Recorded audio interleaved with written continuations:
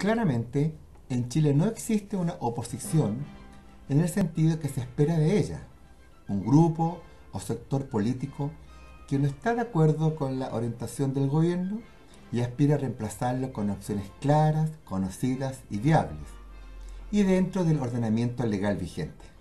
Para nada.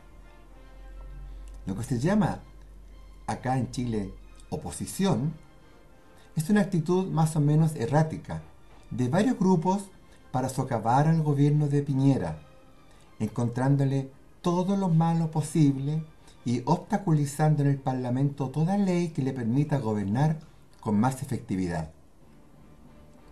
A una oposición real, a una oposición decente, le debe importar conseguir el poder, claro, pero no con acciones que tienden a destruir al país.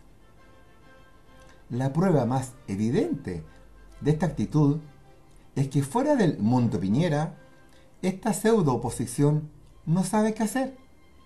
Se destrozan unos a otros, hasta se odian. No tienen ninguna propuesta viable, o al menos entendible, y se enredan en sus propios discursos. Esta pseudo oposición nunca ha sido clara en cómo generar más riqueza, pero ha sido muy clara en cómo generar más pobreza. De hecho, ha avalado, al menos con su silencio, los saqueos a supermercados, los incendios de universidades y templos, la destrucción de bibliotecas y otros cuantiosos daños a la propiedad pública y privada.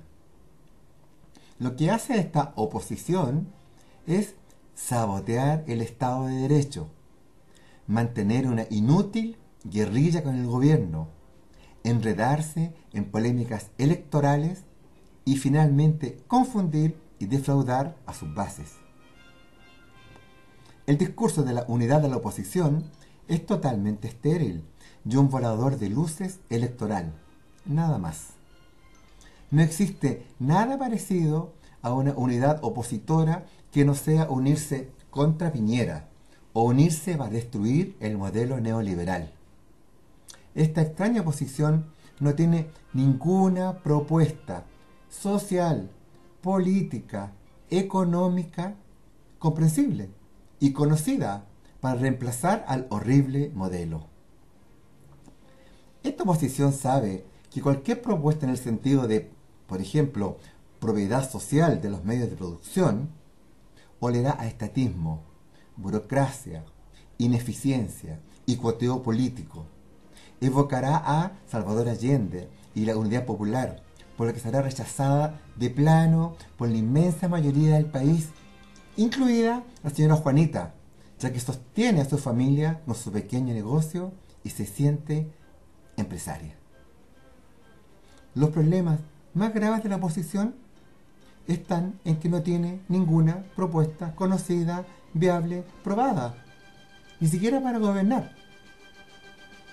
Los problemas más graves de la oposición están dentro de ella misma, lo que la lleva a consumirse en sus propias contradicciones. El peor favor que la señora Bachelet le pudo haber hecho a esta diletante oposición fue nombrar a dedo a una amiga para candidata presidencial, nada menos emulando el viejo estilo del socialismo burocrático europeo en el cual allí se formó. Pero recordemos que ese socialismo burocrático fracasó rotundamente. O sea, las bases de izquierda no fueron tomadas en cuenta, justo cuando el reloj de la historia indica que las viejas élites políticas deben irse para su casa. Felizmente, y a pesar de esta extraña oposición, el país, sin embargo, se mueve.